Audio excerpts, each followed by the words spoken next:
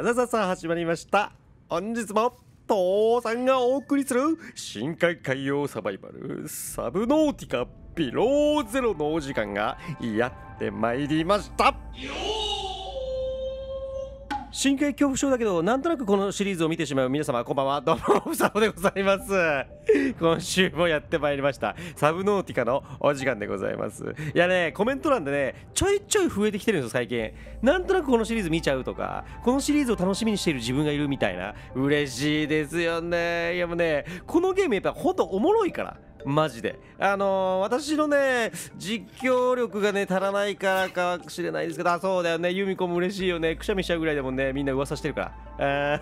ということで今回はですねえー、っとね前回の動画から今回の動画になるまでの間にですね1回生放送を挟んだんですよ。まあミルダムの方で配信させてもらったんでアーカイブは残してあるんですけどその時にですねたくさん資材を集めました。まあ、ストーリーを進めるわけにはいかないんで生放送中はなるべくストーリーを進めないようにですね ビーコンが示す座標にはなるべくいかないようにしてこの周辺の鉱石関係をひたすらいろんな種類集めました。で今回はですね動画で建築ついにメイン拠点やっていこうかなと思います。でその時にですね建築始めていろいろ作れるわー作りたい作りたいってなってて鉱石が足りないっていうの結構多いんですよこのパターン。でこれはこれビーコンね。これはユミコです。あの AI ロボット。これユミコじゃありません。見た目がちょっとなんとなく似てる感じ。ということで今回はですね前回の生放送の時にこれ見てください。まずはチタニウムを、えー、ともうね2ラージぐらい溜まったかな。結構溜まりました。あと銀。銀鉱石もまあほぼほぼほぼほぼワンラージ。これチタニウムねこれ2マス減ってますけどもこれもほぼ溜まってます。でもこの状態。あちょっと待ってこっちに銀鉱石入れといて。はい。でここは、えー、銅鉱石。でこっちもチタニウム。いや全然3スタックぐらいあるなこれな。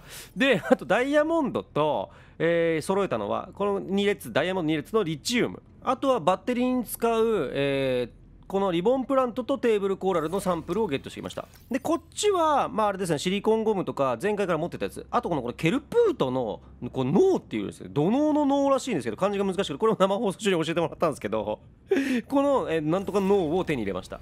あとは、え、鉛と金ですね。ね、鉛かもっと欲しかったんですけど、まあ、鉛はもう3列ちょっとぐらいしか手に入らなかったです。で一応、えっと、石英と塩も手に入れてこっちあとですね硫黄。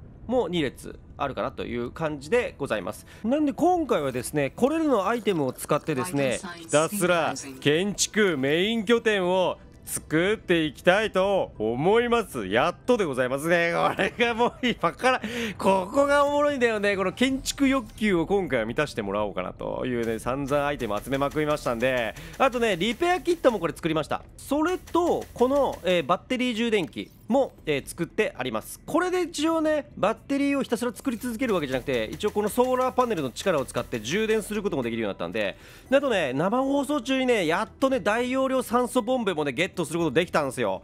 これマジありがたかったです本当。探してて多分通常に1人で進めてたら見つけきれなかったと思う。これもね生放送で視聴者さんに場所を教えてもらってあそこの方にあるよみたいな感じでですねようやく見つけることができました。ということで今回は今からメイン拠点の基盤どんどん作っていきたいと思います。よし作るぞ やっといっぱい資材持ってきたからねそのためにね。たくさん集めたんですよ。ここに備蓄しといたんで。でメイン拠点の場所なんですけどちょっと離れた場所に作るのもありかなと思ったんですけどまあどっちにしろ離れた場所にサブ橋をいくつか作ると思うんですよ。深海の方にもサブ橋は作りたいし遠く離れた場所にも作りたいんで。なんでまあ基本メイン拠点はこの近所でいいかなって思うんでちょっとまあこの辺でいきましょうか。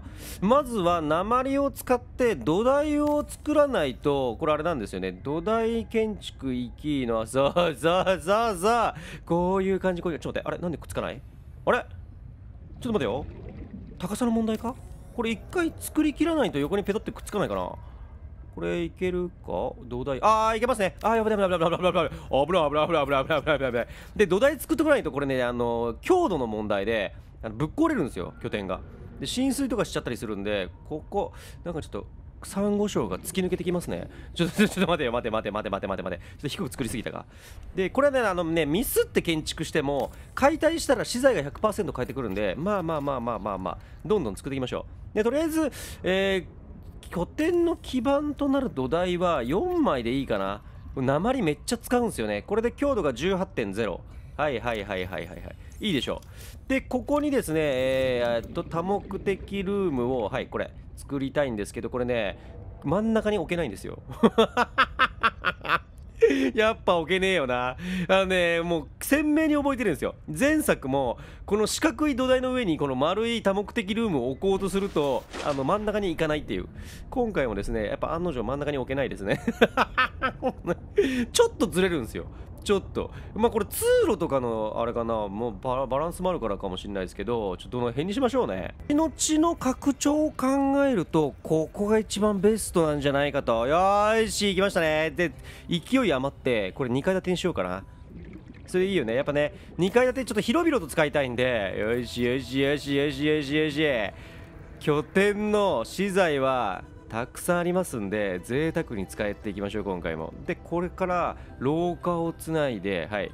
来ましたね。あれ？ちょっと待ってよ。くっつかない。ああいけるいけるいけるいけるいけるよしこれで廊下をここにセットしておいてあガラスが足りないね。OK 了解。じゃあ後でガラスを取ってくると。先にハッチ作るわ。先にハッチ作ってここにハッチ作ります。出入り口作ってで強化するところと窓を作るところとやっぱ窓いるじゃないですか。あこのでっかい窓ね。これこれこれこれ。で一回通路作っちゃうとあの後から窓作れなくなるんでそのマスに。だから先に窓決めてから通路作った方がいいですね。あとスキャナールームとか後々がこの何ですかえっ、ー、と乗り物？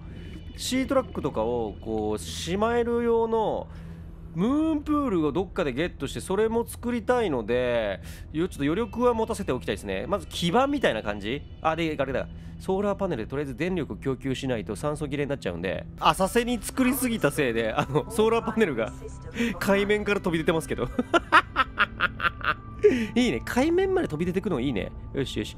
オッケー来ましたね。ウェルカムボーキャプテン来ました。さあでここでハッチのこのはしごをつけるとですね2階に上がることができるようになると。はい。一瞬でワープする。あいいな。これよこれ。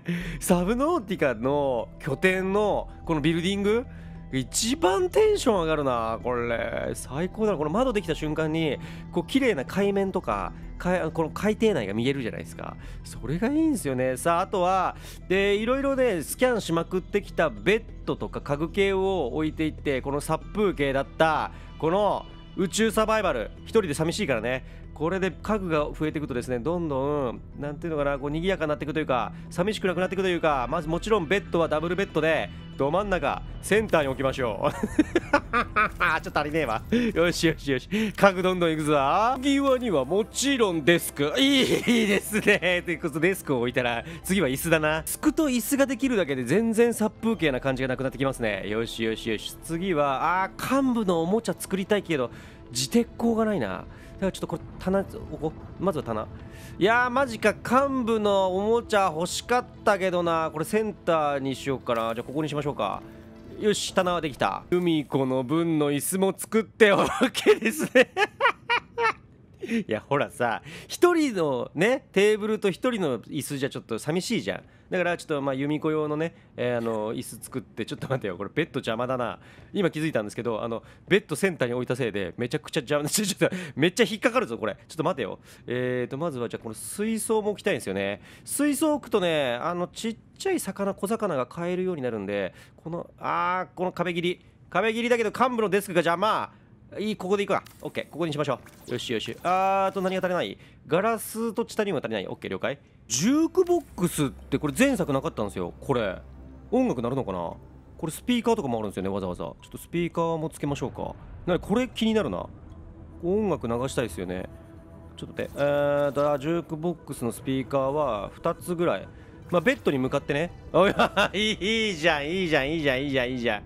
だいぶ賑やかになってきましたね。スターを貼って、てはい、これで OK ですね。よしよしよしよし、ポスター貼りの、いいな、いいな、いいな。あとは、これをこう、えっ、ー、と、ひげ剃りセット。なぜかひげ剃りセット。で、ここで由美子のお父さんの、はい、由美子のお父さんの写真。ここに飾っておいてよしあとはこれちょっと待ってよ由美子のお父さんのあの写真なんかスキャンしろって書いてああこれスキャンできるんだ学校入りの写真 OK 細長細長なかなかスリムですねゆうのお父さん。はい。だいぶ出来上がってきましたね。ようやくここでコーヒーマシン無限ドリンクバーの完成です。オッケーで確かねこれコーヒー飲んでも水分ゲージはねあんま上がらなかった気がするんですよね前作で。あんまちょっとうる覚えなんですけどこれで水の喉の渇き OK じゃんと思ったんですけどこれね水ろ過装置っていう多分アイテムがあるはずなんですけどそれを今今作が必要であればですよ。多分コーヒーだと喉がの潤いは満たせないと思うんですよね。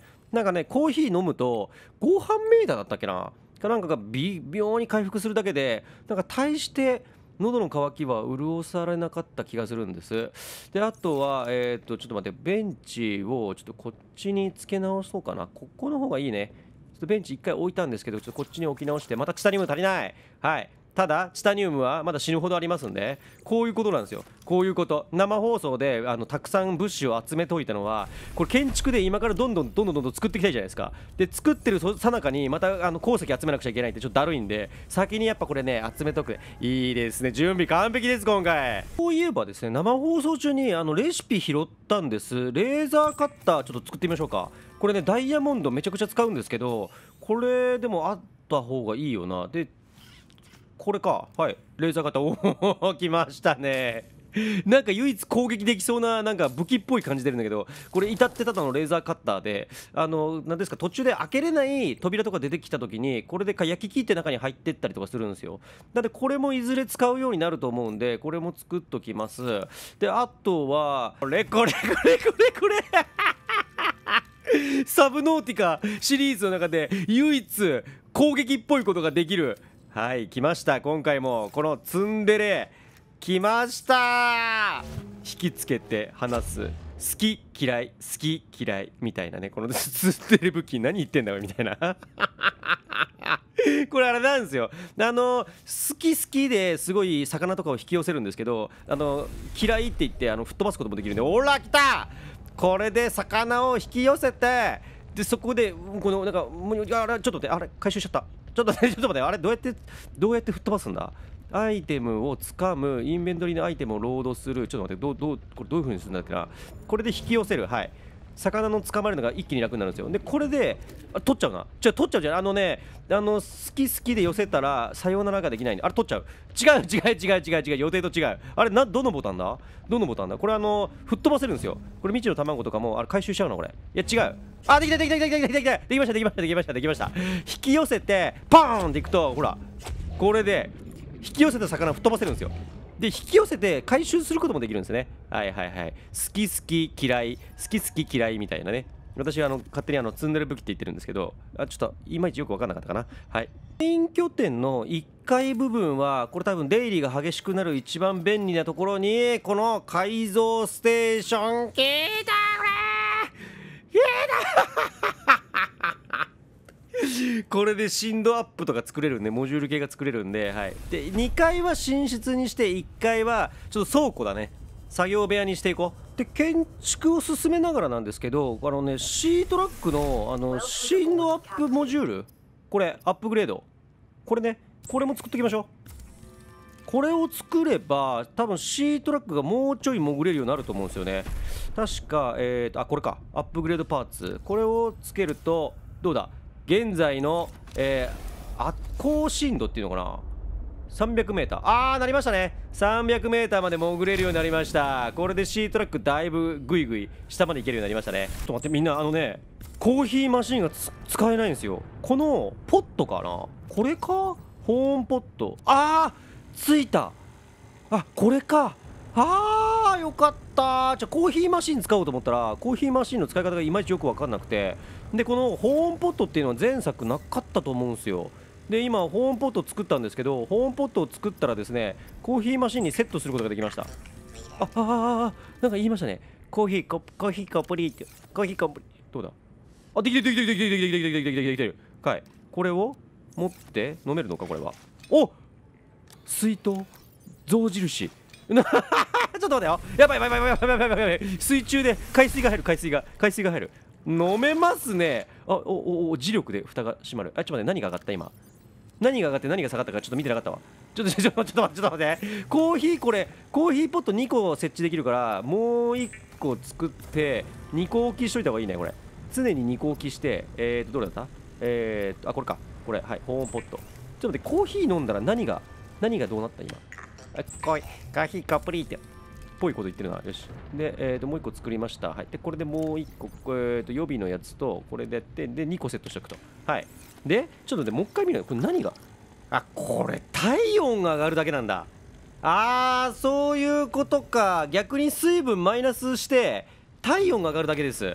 あー、そういう感じね。とりあえず、あの、1階と2階と両方コーヒーマシンセットしたんですけど、別に水分が上がるわけじゃなくて、水 H2O マイナス2でえー、そういうことか。体温いる？これ。これいる？これあの寒い地域とかに行く時にコーヒーは持っといた方がいい感じなのかな？ということで完成しましたメイン拠点由美子できたよ。でもね倉庫で使ってた仮居は一旦全部解体して1箇所にねまとめましたあとねナイフもこのあのヒートなんとかっていうねあの燃えてるナイフに変えれたんですよ。改造ステーション作ったんでこれも作ることができましたのでナイフもちょっとねレベルアップしてるんです。こう見えて燃えてますよね。よしよしこれで焼き切れることができますね。さあ新しい拠点はこちらでございますってまだちょっとあの途中なんですけど。まだ途中ですよ。まだ途中。こっからどんどんね拡張していくから。ね最初からでそんなすごいねたくさん作れないんでまずは2階建ての拠点をそっと置いておきまましたね。うん、あのね、プランターとかも今回はあるかどうかわかんないんですけど、あの海中の中にプランターとかも設置できるんですよ。まあ、とりあえず1回ね、あの見ていきましょう。はい。まず、入り口の1階部分はね、出入りが激しいので、ここら辺に必要そうなこ、保温ポット。これ意外にちょっと微妙でしたね。これであの帰ってきたら、とりあえずまず1杯コーヒーを象印のこの水筒でね、はい、ポッと飲んで、蓋は自動的に閉まります。フォースの力でいけますね。でここにあの食料系入れようかなと思ってます。ご飯うんでこれでいいですね。よし。これで分かりやすい。これねちっちゃい方のチェストはね名前書けるんですよ。名前を編集できるんでこれでご飯にしといてでファブリケーターも入り口入ってすぐのところ。でこっちはまあ普段持ってくツール系かな？んにを入れとこうかなと思ってます。で、えー、1階の部分は、えー、ここにバッテリー充電器あって窓ガラスあってまだねこのねチェストをどんどんどんどん拡張していこうかなと思ってますんで鉱石系がねどんどんしまいなくなってくると思うんですよ。なんでちょっと余裕を持たせておいてまだ左側のエリアはもうちょっとね通路とか廊下で拡張用に取ってあります。でこれが作った真ん中のあの改造パーツですね。改造ステーション。の部分はですねこちら。はい来ました。ここ寝室ですね。ジュークボックスも完成して一応上にもコーヒーマシンとゴミ箱あやばいベンチがまだ出来上がってなかったですね。ベンチがまだ途中だわ。でベッドあって真んな真ん中に引っかかるベッドね。これでもちょっとちょっとミスったんですけどテーブルポスターあって棚と。ポスターの位置も若干変えてあと植木鉢も作りました。でこれひげ剃りセットね。デスクの上にセットしておいて。でこれ由美子のお父さんの写真と。で水槽も完成したんでこれ見てください。これほら魚小魚入れれるんですよここに。よくないですかこれ。でね卵入れれるかなと思ったんですけどこれよく考えたら卵はあれだね大型水槽だね。前作もあったんですけどこれもう一個でかい水槽があるんですよ。それがないと多分ダメだなっていうところかなっていうところでございます。でベッドを作ったんでようやく私は寝ることができるんですね。これで朝にできますね。まあ、日没が、あ、ちょっと待って、あ、何これ？君が寝ている間何が起こった？また、また話しかけてきたな。直接脳に語りかけてきてる。あー、またなんか2人の会話が始まりましたね。夢を見ていたの。何か目的があるのか、それはとてつもなく混乱した断片的な思考だった。ランダムなイメージと感覚だ。ああ、そういうことね。アランが見た夢に対してロビンが反応してると。あー、ちょっと待って。あの、今ね、建築の説明をしてるからさあの2人ちょっと2人ともさ私をちょっと毎回ちょっとガン無視してたよね。会話を始めるのはいいんだけどそういえばジュークボックスちょっと再生してお流れる音楽が。え音楽流れます？拠点の中で。えちょっとやばいやばいやばいやばい。えこれえちょっと待って。え大丈夫？YouTube 大丈夫？これ。著作権とかそういう系？だちょっとちょっと待って。ちょっとね音楽絞って.だい大丈夫か？これ YouTube 大丈夫なやつ？これ流しても。